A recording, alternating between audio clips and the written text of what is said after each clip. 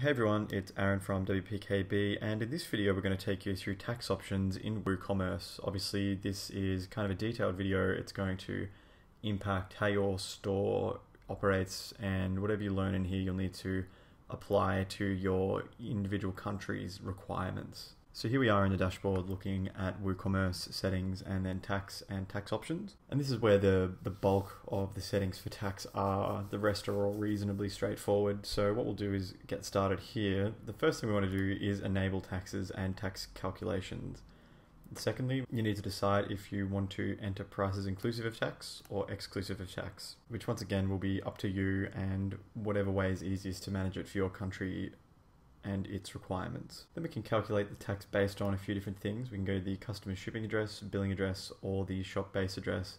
Using the customer shipping address is generally the standard uh, because depending on where you ship to, the customer may not actually have to pay tax. Then we get to choose the customer's default address. As you can see, it'll be the shop base address. Alternatively, you can change it to no address it's only going to be in there until the customer actually submits what their address is anyway, so it doesn't really matter what you choose there. Next we get to choose the shipping tax class. This controls what tax class shipping will receive, or you can leave it so that it's based on the actual cart itself. You can see you've got standard reduced rate, zero rate, or just the default of leaving shipping tax class based on cart items, which is certainly the default. Next you get to choose how you want to round the tax. Do you want to do it at a subtotal level? So just at the checkout when everything's been already input, or alternatively, you can choose to do it per line, so per item more or less. Just below this, we get to create some additional tax classes if you want. Now, as you can see up here, those are already in there reduced rate and zero rate. So if you wanted to create more tax classes, you can just simply go new tax class and then hit save and you'll see it in this little drop down there. Just as we move down, you get to choose how prices are displayed in the shop here you can see it's excluding tax. So if that's how you like to do it or how you can do it in your country, that's fine. Alternatively, you may wish to choose including tax. Next, there is the price display suffix. So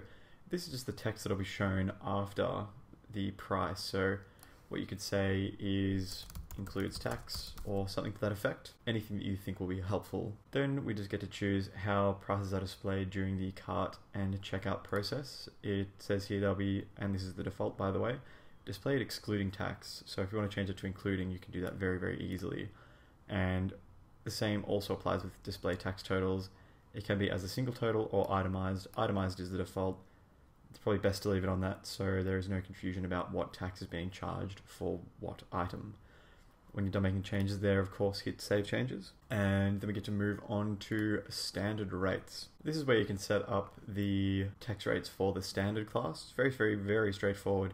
You can see here that if you want to put it in, you just click Insert Row. Alternatively, you can import a CSV file.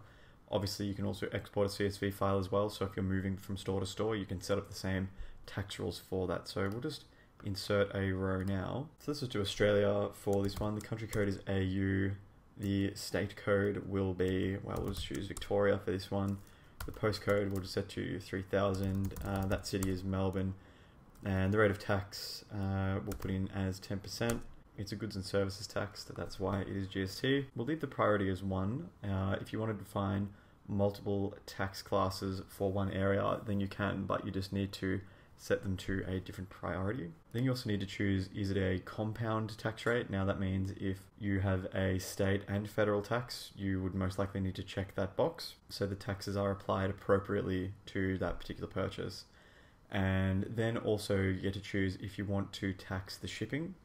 Uh, obviously, this is going to vary country to country, but once you know what you need to do, you can just make those changes and hit save. And that's done, that's been applied. So that will go through and affect all people buying products that live or want delivery to uh, this particular area. Thereafter, you can see we have reduced rate, zero rate taxes, and new tax class, which is just one that we made as a demonstration before. The process is exactly the same as what we just did there for setting up standard rates. So we're not going to go through the rest of these because, you know, as mentioned, it is exactly the same to set up. It just needs to be set up based on your store's requirements uh, so that it is compliant with your country's tax requirements. So hopefully that's a good primer in setting up your tax options in WooCommerce. Of course, if you have any questions at all, please feel free to ask in the comments below. And if you've enjoyed this video, please hit subscribe for more.